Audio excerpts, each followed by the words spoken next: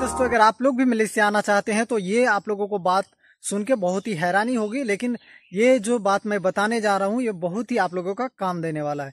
आप लोगों को बता दूँ, अगर मलेशिया आते हैं, कोई भी वर्क वीज़ा लेके कोई भी यहाँ पर मलेशिया में आते हैं, खास करके प्लांटेशन वर्क में हो या कोई भी वर्क में आप आना चाहते हैं वर्क वीज़ा को लेके तो मलेशिया आने से पहले आपको एक ऐप का डाउनलोड करना और उसके बारे में जान जानना भी बहुत ही आवश्यक होगा।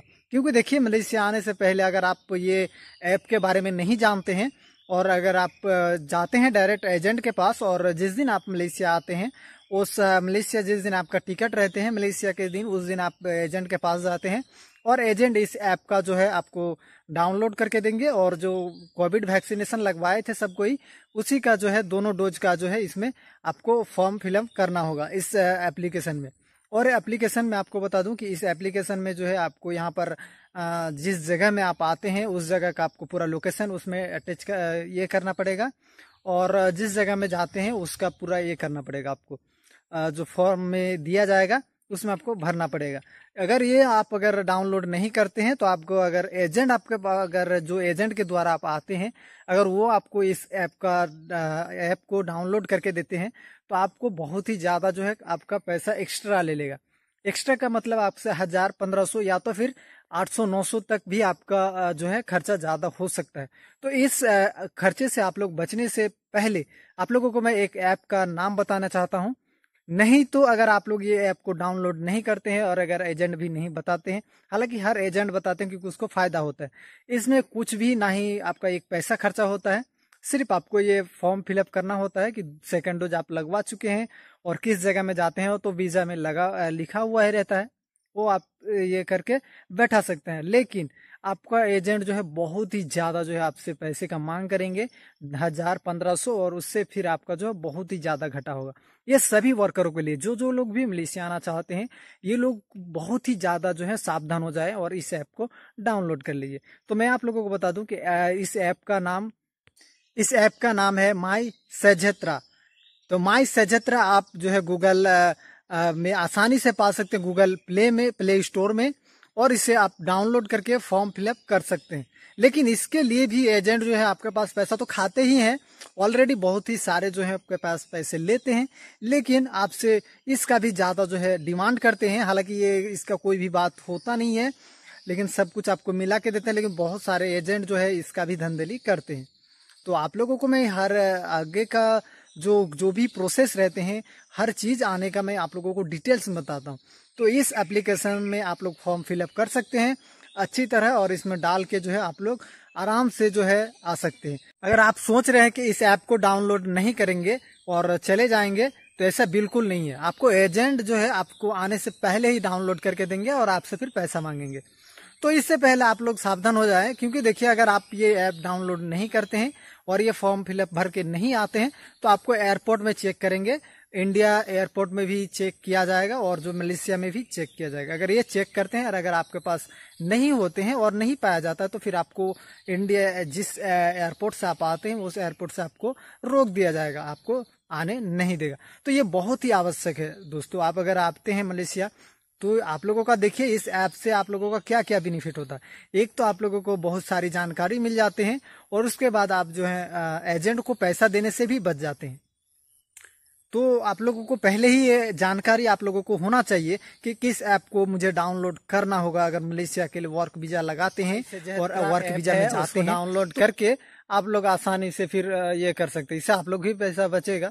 तो देखिए, मलेशिया में ये ऐप का जो ये लॉन्च किया था, किस लिए लॉन्च किया था, आप लोगों को बता दूँ कि ये इस ऐप का जो है कोरोना के समय जो है, लोग आने जाने के लिए जो है, इसका प्रूफ चाहिए था कि इस वर्कर को जो मैं लेके आ रहा हूँ इंडिया तो ये क्या इसका वैक्सीनेशन हो चुके हैं या नहीं हुए हैं?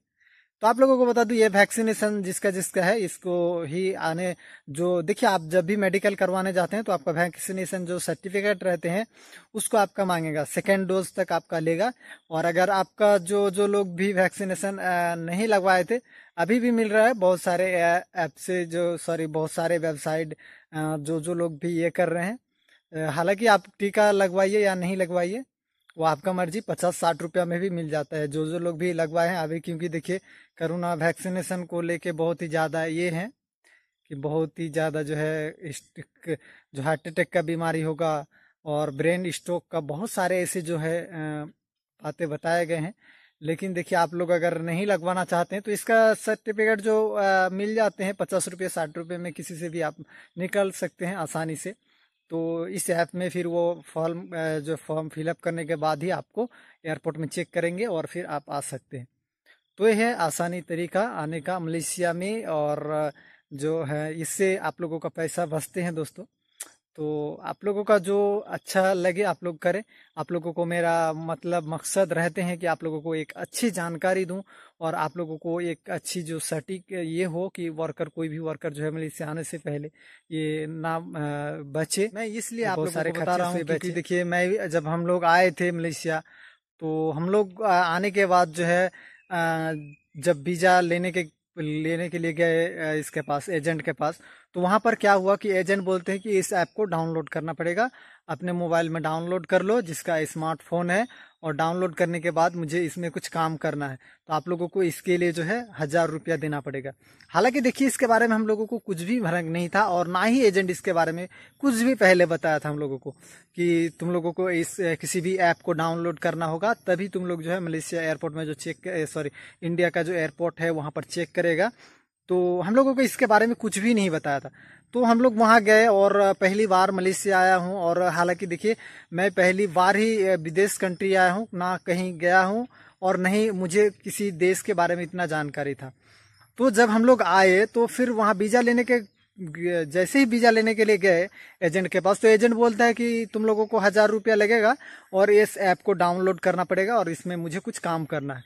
तो ज़्यादा कुछ काम नहीं है, इसमें सिर्फ़ फॉर्म फिलअप भरना है, कोरोना वैक्सीनेशन का जो कार्ड है, उसमें उसको दिखाना है और शो करना है। तो यही काम रहता है दोस्तों, लेकिन इसके लिए भी हज़ार रुपया।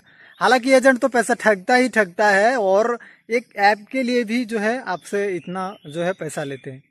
तो आप लोग भी सावधान हो जाए, सतर्क हो जाए दोस्तों, हम लोग के साथ जो घटना घटे हैं, वो आप लोगों के साथ ना घटे। तो अगर अभी तक मेरा यूट्यूब चैनल को आप लोग सब्सक्राइब नहीं किए हैं तो प्लीज़ मेरा यूट्यूब चैनल को सब्सक्राइब करके बेल आइकन को प्रेस कर दीजिए चलिए मिलते हैं नेक्स्ट वीडियो में नई जानकारी के साथ। तब तक के लिए जय हिंद, जय भारत।